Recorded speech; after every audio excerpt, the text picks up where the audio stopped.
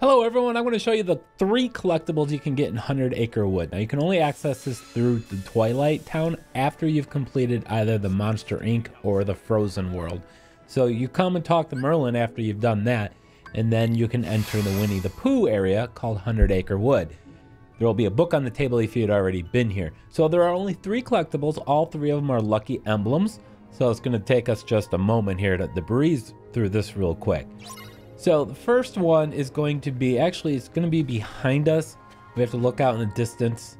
So I'm just going to come in the middle here and look out in the distance and you can see the, uh, the symbol. There's the emblem, take a photo of that. Number two is going to be behind this large pumpkin. Let's see. And then number three is going to be on the far end. When I say far, this whole thing is about a hundred yards long. It's going to be inside this bucket at the bottom of the bucket. Hey, I think that's a lucky emblem.